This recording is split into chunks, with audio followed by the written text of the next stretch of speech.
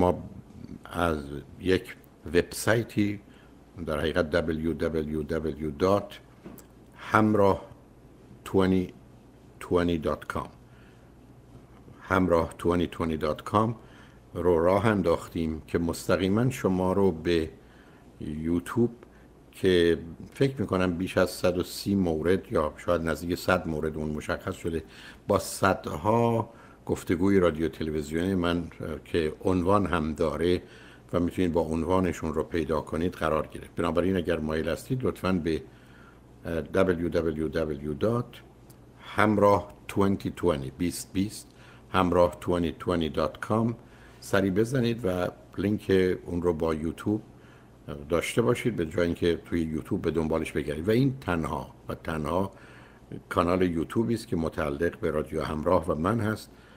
و امیدوارم دوستان به این موضوع و آنچه که به عنوان هر حال حقوق معلف هست توجهی رو داشته باشید رادیو همراه. بفرمایید. الو آقای دکتر سلام. بله بفرمایید. بفرمایید.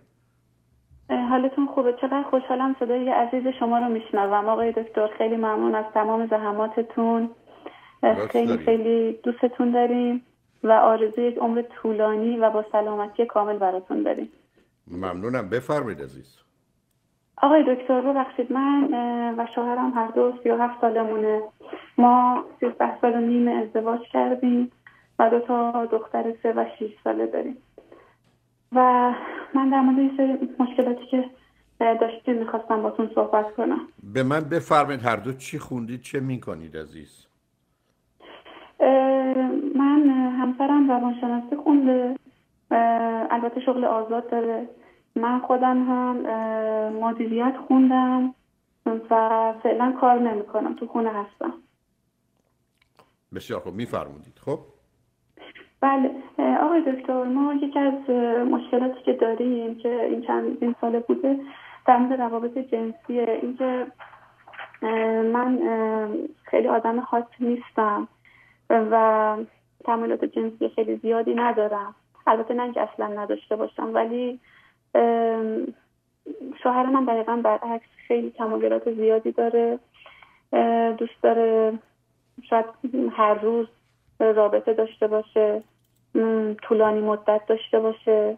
من هم اگر هم هر روز نباشه برام مسئله نیست.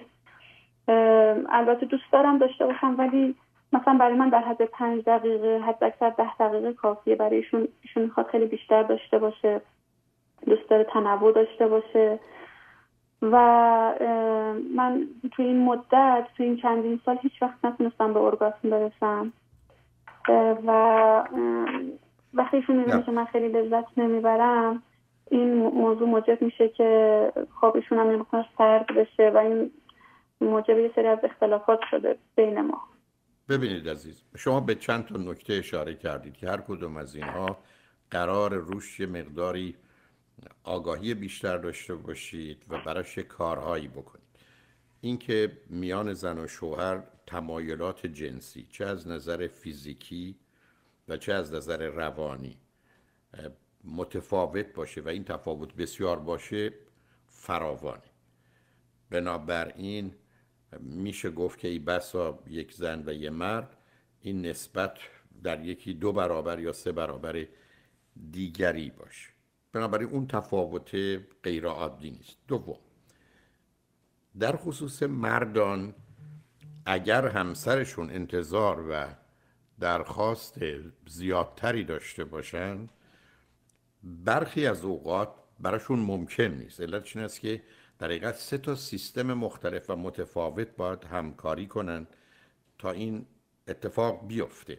و در نتیجه اگر زنی از مردش انتظار رابطه زیادتری داره این احتمال وجود داره که مرد نه اینکه نخواد نتونه. و جالب اینه که به میزانی که کوشش می‌کنه اون رو داشته باشه می‌تونه نه به مرحله آمادگی برسه و نه به مرحله ارضا.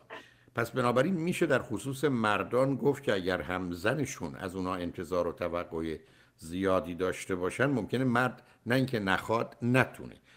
چه از نظر فیزیکی چه از نظر روانی.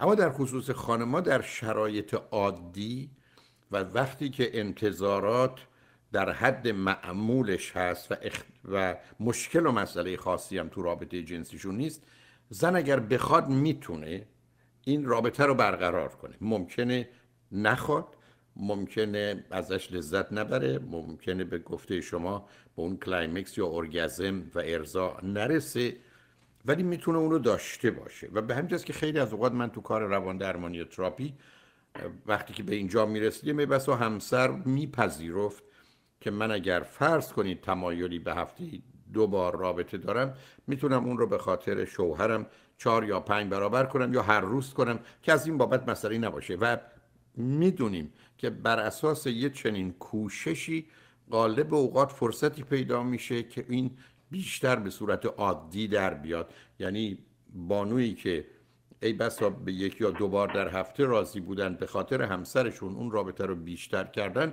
بعد از یه مدتی خودشون هم این میل و تمایل و آمادگی و یا راحتی رو در ایجاد این ارتباط داشتن.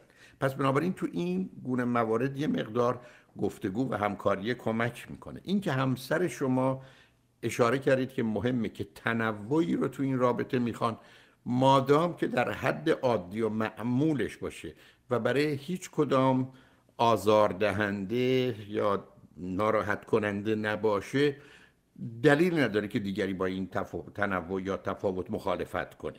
یعنی قرار هست که اگر فرض کنید حالا یکی انتظارش این است که روز باشه یا شب باشه روشن باشه یا تاریک باشه او هم خودش رو با اون سازگار کنه یا هر چیز دیگری که من وارد جزئیاتش نمی‌خوام بشم. مگر اینکه اون تنوع تنوع نادرستی یا آزاردهنده ای است که اون موقع بحث و گفتگوی دیگری داره یا احتمالا همیشه باید به نفع کسی که رنج می‌بره تصمیم رو به نفع او ازش گذشت و کار عکس اون رو کرد.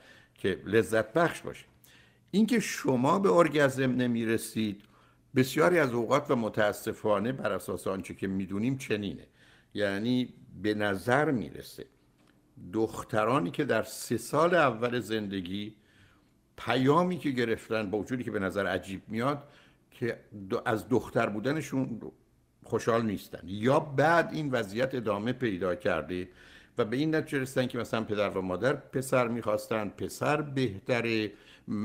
من فرض کنید حالا که دختر شدم اون امتیازات رو ندارم و بنابراین به دلایل روانی یه احساس بدی درباره دختر یا زن بودن خودشون دارن. و یا به خاطر آنچه که در زندگیشون اتفاق افتاده یه احساس خشمی و حتی برخی از اوقات تنفری نسبت به مرد و به گونه ای که رابطه جنسی از نظر عادی و طبیعی هست دارن. یعنی یه نوع احساس بد و سنگینه و اون سبب میشه که اصلا نتونن از نظر ذهنی به مرحله برسند که اون ارضا رو داشته باشند. بنابراین اون یه مسئله شخصی شماست که به ارتباطی به همسرتون نداره.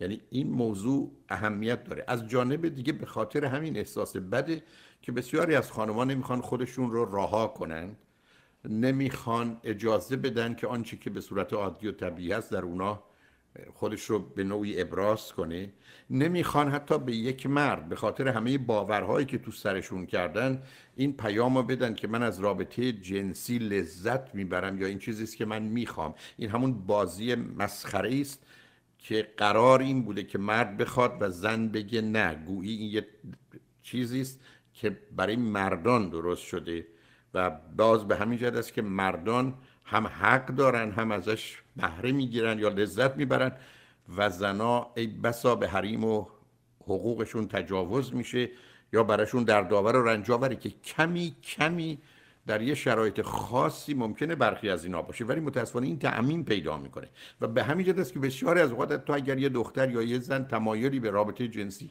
با همسرش یا هر مردی داشته باشه فکر می‌کنه نباید ابراز کنه چون ممکنه موجب این سوء تفاهم بشه. اینی که به دنبال رابطه جنسی معناش با هر کسی است نه با این فرد به خصوص. یعنی می‌خوام بگم اینقدر باورهای غلط بیمارگونه در جامعه جا افتاده که من در کار روان درمانی تراپی برخی از متوجه می‌شدم که بانوی تحصیل کرده ای حرفش و فرضش بر این بود که من اگر با تمام وجودم هم این رابطه رو با همسرم بخوام هرگز من پیش قدم نمیشم. چون فرضش این بود که هر دختری که این کار رو بکنه نشون میده دختر بدیه زن بدیه. اصلا زن بدکار سب کنید عزیز زن بدکاره است. یعنی اینا زمینه های فراهم می‌کنه که شما بدون که در اختیارتون باشه تمایلی به ارگزم نداشته باشید. یعنی آنچه که لازم هست برای رسیدن به ارگزم مثل پرنده که باید فرض کنید که پاشو محکم بتونه به زمین بکوبه پرشو باز کنید شما اگر یه پای پرنده ای رو بشکنید هرگز از زمین نمی‌تونه بلند بشه. پرش هم سالمه. ولی به خاطر اون حرکت اولیه که باید بتونه هوا یا باد زیر بالش قرار بگیره و بر اساس آنچه که قواعد پروازه خودش از روی زمین بلند کنه نمی‌تونه. همینطور که هواپیما خودشون مدتی رو زمین می‌کشن و بلند میشن تا به یه سرعتی برسن. علتی که نرسکان به شما مربوط نیست عزیز. خانمی که میگه من ارگزم و climax ندارم در شرایط عادی معناش این هست که او به این نتیجه رسیده که این کار ناآگاهه. نمی‌خوام بگم تصمیم شماست. غلط بد مخالف افت و پاکدامنی او رو در زمره زنان بد قرار میده و یا اون برداشت رو داره ضمنا نمی‌خواد در مقابل مرد تسلیم بشه یا بیان کنه که من از این رابطه راضی هستم. تنها موردی که برخی از اوقات خانم ها به ارگزم و climax نمی‌رسن که درست حرف شما عکسشه اینه که همسرشون به دلیل اینکه با سرعت ارضا میشه یا به اندازه کافی زمان رو نمی‌تونه در رابطه نگه داره اگر قراره که یه خانمی که معمولا کمی بیشتر از مردان ده دقیقه دوازده دقیقه 15 دقیقه پنج دقیقه هرچه به ارگزم برسه اگر قرار ده دقیقه باشه وقتی به هفت دقیقه می‌رسه خب معلومه نداره. ولی شما درست در خصوص همسرتون عکسش رو گفتید. یعنی ایشون این رابطه رو به مقدار زیادی طولانی تر از اون چیزی می‌کنه که حتی شما می‌خواید. پس احتمالا این موضوع شما نیست و بذارید نکته آخر رو هم بگم. با اون نکته آخر این هست که همسر شما همسر شما ممکنه از اون جمله مردانی باشه که برخلاف بسیاری از مردان که premature ejaculation دارن و با سرعت ارضا میشن ایشون از جمله گروه هایی باشه که اتفاقا مدت ارضایشون بسیار طولانی است. و برخی از اوقات به عنوان یکی از 13 تا اختلال جنسی که ما می‌شناسیم اصلا به ارگزم به این مراحل نمی‌رسن. یعنی اینا به عنوان یه مسئله مشکل است. حالا بگذارید با توجه به این حرفایی که من زدم و چیزایی که شما خودتون بیان کردید و می‌دونید. بذارید ما پیام رو بشنویم و برگردیم که من خاطرم آسوده باشه بعد از آغاز گفتگوی شما مجبور به قطعش نیستم و ببینم که آنچه که مورد نظر شماست و مایلی در موردش صحبت کنیم چیه؟ اینکه بعد از چند پیام گفتگومون رو با هم ادامه میدیم شنگ نرجمند خیلی ممنون آقای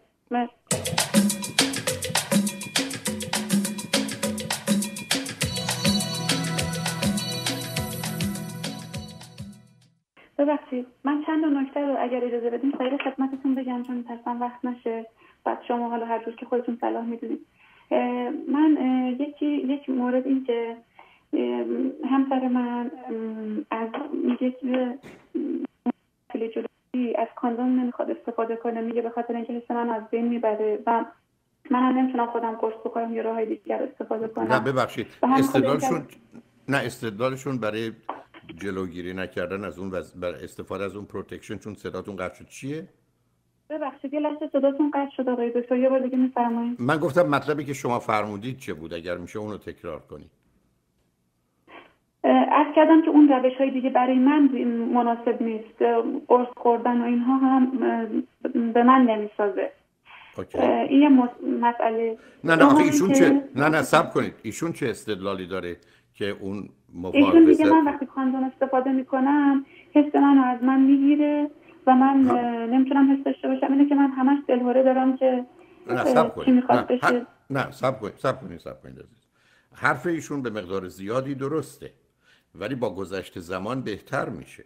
ولی اینکه شما به خاطر جلوگیری از یه مشکلی که با کمی توجه می‌تونه درست بشه چون این نیاز بیش از اون جدی است که به خاطر مواردی از این قبیل مسئله پیدا کنه. البته اینکه مدت رابطه طولانی نشون میده ایشان اونجا مسئله دارن و برخی از دنبال نه اینکه بگم بازی در میارن ولی اونچه که میگن از یه جای دیگه نشأت می‌گیره و به جای دیگه مرتبطه. ولی به هر حال ببینید عزیز روزی که گفته میشه زن و شوهر با کمک متخصص باید با مسئله روبرو بشن مسئله رو حل کنند. شما اگر فکر می‌کنید که فرض کنید قرص بهتون نمی‌سازه آیودی یا هر چیز دیگه هم نمی‌تونید استفاده کنید یا به هر دلیلی و بعد تنها راهتون این نوع محافظتی است که از جانب همسرتون باید صورت بگیره خب باید ایشون در جهت نوعش و بعد به تدریج خودشون رو با اون عادت بدن. البته همچنان معلومه که حساسیت رو که شرط ضروری این ارتباط هست رو کاهش میده. حرفی که ایشون می‌زنن درسته. ولی نه اون اندازه که موضوع رو منتفی کنه یا در حقیقت از بین ببره. بعد با گذشت زمان همطور که در مورد شما عرض کردم می‌تونه اوضاع بهتر بشه. راه دیگری نیست عزیز.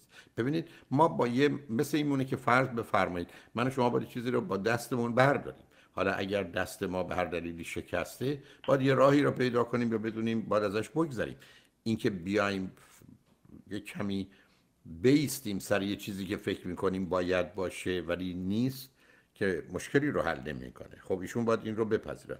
بگذارید ببینم مطلب دیگه یا مطلب دیگه یک مورد نظر بله مطلب بعدی مطلب بعدی این که ایشون خیلی وقتا که حالا من در شرایطی نیستم که بتونیم با هم رابطه داشته باشیم میگه که از طریق تاچ و لمس منو به ارگاسم برسون و خیلی وقتا من به من میگه که یه حرفای خاصی بزن و یه مدت طولانی من ایشونو از طریق تاچ به هر حال اون کاری که می‌خواد انجام بدم برای اینکه ایشون به اون ارضا بشه. خواستم ببینم اینم درسته یا نه. بدون تردید ببینید عزیز اصولا تعریف رابطه جنسی این است که یک نفر برای دیگری یا هر دو به اون ارگزم و climax برسن از طریق آنچه که مرتبط میشه به آلات تناسلی. و هیچ ممنوعیتی تو این زمینه وجود نداره عزیز. تنها ممنوعیتی که وجود داره اینه که عملی که صورت می‌گیره از نظر پزشکی و بهداشتی اشتباه یا بد باشه. همین. یعنی هیچ کسی قرار نیست. چون ببینید شما راجع به دو تا بدن صحبت می‌کنید که تنها موردی که می‌تونه بیاد و بگه این کار بده یا غلطه فقط زمینه های بهداشتی و پزشکیه نه هیچ چیز دیگه. و الا بقیه همه در حقیقت قراردادیه و بیشتر به شرایط محیط اجتماعی و فرهنگی و بعدا به نوعی برداشت های شخصیه. این که من هیچ عیب و ایرادی تو این زمینه نمی بینم بله خیلی ممنون. پس آقای دکتر من همطور که کردم چون مدت بود به هر حال من هیچ وقت آدم خیلی خاصی نبودم و بعد همسرم برعکس. ایشون چند وقت پیش حدود یک ماه سه هفته پیش به من گفت که من دیگه می‌خوام که اینال سکس داشته باشم و من این موضوع منو خیلی ناراحت کرد. گفتم به هیچ عنوان من نمی‌تونم همچین چیزی رو قبول کنم. و ایشون خیلی ناراحت شد و به مدت دو هفته گفتش که حالت قهرمانان که دیگه بری اتاق دیگه بخواب. و خیلی اصلا خیلی رفتار خیلی سردی داشت و رفت فیلم های پر نگاه کرد و بعد اومد به من گفتش که من می‌خوام با کس دیگه ارتباط داشته باشم اگر تو منو دوست داری باید این کارو بکنی. گفتم نه من اصلا نمی‌تونم زیر بار همچین چیزی برم چون به شدت منو آزار میده. و خیلی ما واقعا دو هفته خیلی خیلی سختی داشتیم. و خواستم نظر شما رو در این مورد بدونم. بله. ببینید عزیز اولا اینجا چون به هر حال خط رادیویی و جنبه عمومی داره من حالا که شما مطرحش فرمودید اگر می‌گفتید شاید ازتون خواهش می‌کردم که راجبش صحبتی نکنیم به دلایل بسیار. ولی حالا که مطرح فرمودید بذارید من دو تا اصل رو خدمتون میگم که فکر کنم به هر دوش یه جوری اشاره کردم.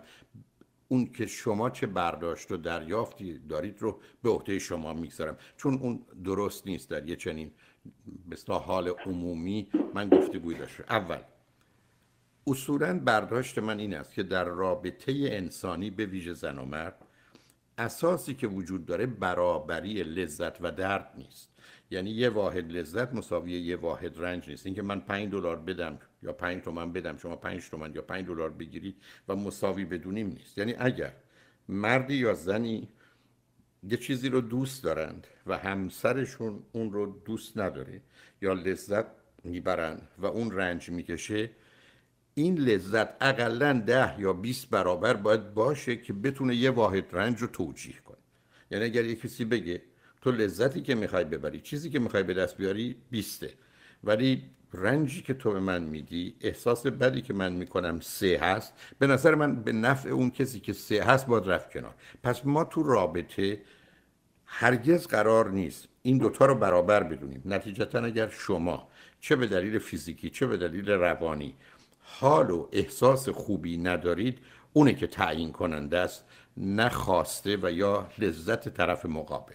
تنها نکته ای که اینجا باقی میمونه بسیاری از اوقات با رعایت برخی از اصول به تدریج آنچه را که ما دوست نداریم یا حتی درست نمی‌دونیم ممکنه اگر مواردی باشه که به ذهنیت ما مرتبطه بعد نظرمون عوض بشه. همطور که بسیار از اوقات ای بسا شما در یه دورانی فکر کنید یه کاری رو مایل نیستید انجام بدید در هر زمینه عرض می‌کنم. ولی حالا براش این آمادگی رو دارید. یه روزی فرض کنید اصلا فکر نمی‌کردید مثل خود من که بیا تو امریکا زندگی کنید اصلا براتون یه چیز غیر ممکن بود.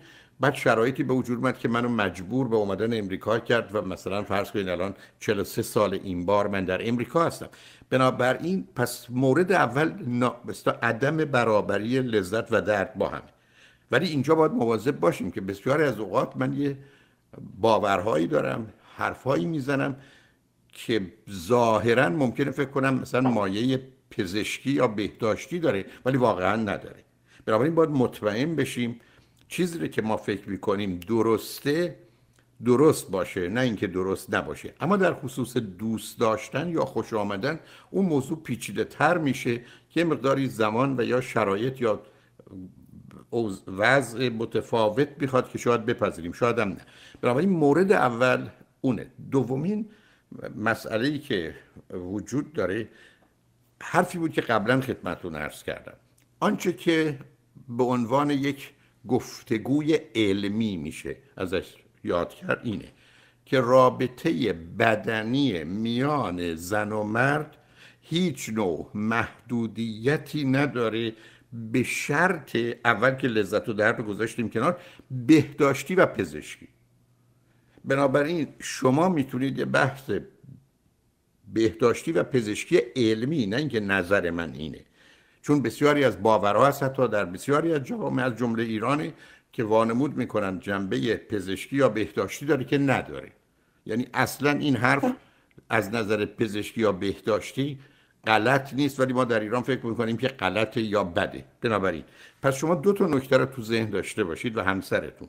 یک قرار نیست یک کسی رنج ببره تا دیگری لذت ببره. نه مگر اینکه این لذت ده 20 برابر باشه و اون کسی که رنج می‌بره با آگاهی از این موضوع تن به اون رنج بده و الا برابریه نیست. دوم رفتار. همطور که در سوال قبلی شما بود هر نوع رابطه فیزیکی بدنی میان زن و مرد مادام که برای هر دوشون مورد رضایت و توافقشون باشه. اون قاعده درد و لذت هم همچنان رعایت بشه.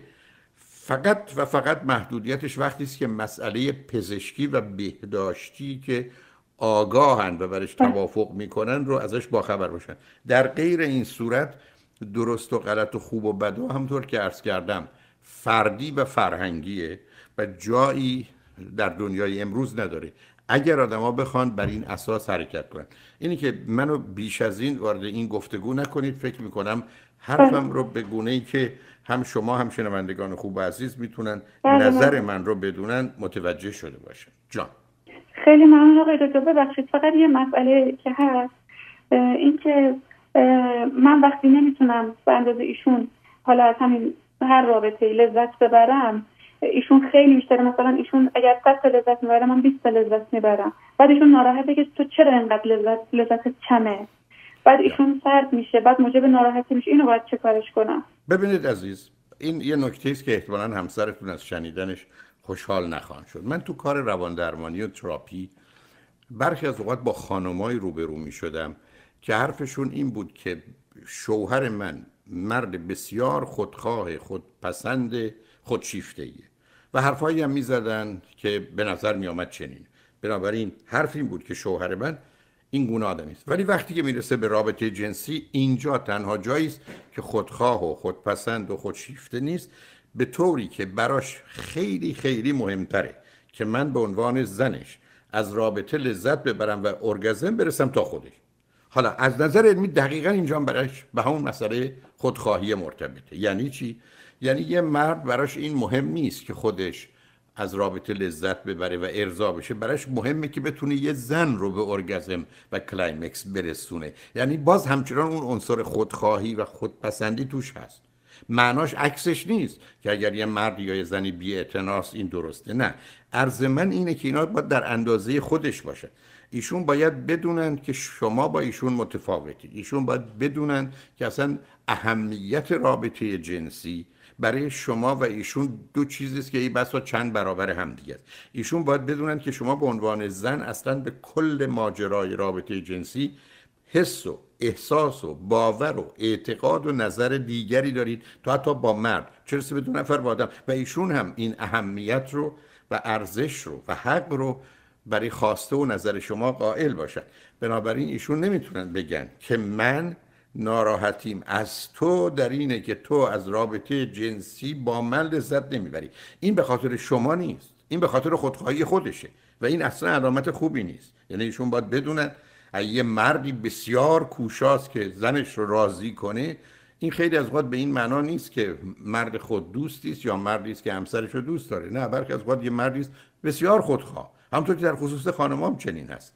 به همین جهت که ارز کردم در این زمینه ها باید گفتگو کرد. اما آنچه که شما به من میفرمایید این است که نگاه و نظر و خواسته و احتیاج و اهمیت موضوع رابطه جنسی برای شما دوتا بسیار با هم متفاوته.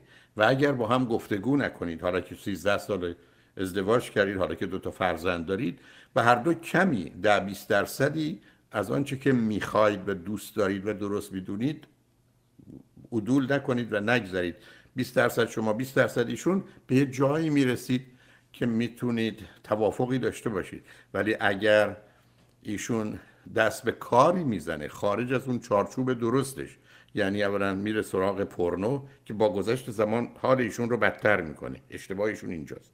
دوم رابطه دیگری می‌خواد اون زمان است که ما در حقیقت از خط خارج شدیم. یعنی شما این که در این خیابان می‌تونستید میان این سه تا خط هر زمان که دلتون می‌خواد با رعایت اصولی رانندگی کنید. یه دفعه تصمیم گرفتید برید تو پیاده رو یا تصمیم گرفتید برید تو مغازه مردم. اونجا دیگه جایی نداره و اون حرف و سخن ایشون دیگه قابل قبول نیست و امیدوارم هر دو کمک بگیرید که حالا که یه زندگی رو برای همچین مدتی با هم داشتید و ضمن دو تا هم فرزند دارید اونم تو این سن با هم به یه توافقی برسید که بتونید تفاوتی رو که دارید تبدیل به یک فرصت کنید و یک رشد و یا یه تنوع تا اینکه موجب اختلاف و اشکالتون بشه یا زندگیتون رو یا زندگی زناشویتون رو به هم بزنه. به حال برای هر دوی شما آرزوی بهترین حال دارم. برای خیلی خوشحال شدم آقای آقای دکتر ببخشید. من در مورد لطمت دختر 6 ساله من می‌تونم یه سوال بپرسم؟ خب میشه بگذریم ازش چون من دوستان دیگه هم روی خط دارم. ضمن میشه قسمت بعدی رو می‌گیره. اون ازش بگذارید یه وقت دیگه عزیز. به خوشحال شدم خیلی متشکرم آقای دکتر. خیلی ممنون. به خاطر این همه خوبی و گذشتتون این صدای گرم شما رو میشنویم. خیلی خوشحال میشیم. لطف